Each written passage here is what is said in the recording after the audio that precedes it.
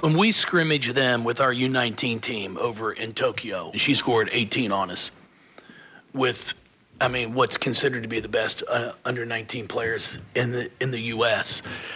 I, I knew we had a kid that could could play.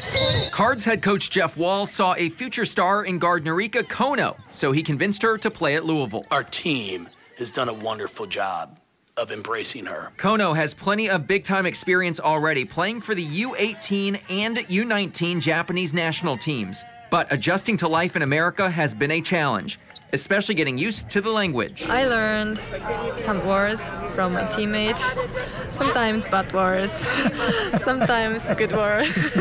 it's fun. they talk about the, the language barrier, and she's gotten so so much better. It's been cute because I asked her the other day. I said I really want to learn a few J- Japanese words for during the game. I asked her what's reverse the ball in Japanese, and she said reverse the ball. and I was like, okay, well I've, I've got that down. And if there's one thing her teammates all say they have noticed about her, it is how much she smiles and how she is so positive. Every day I experience new things. It's, it is fun for me. And I try to be always smile. That's good for team and my mind. Andrew Chernoff, WLKY Sports.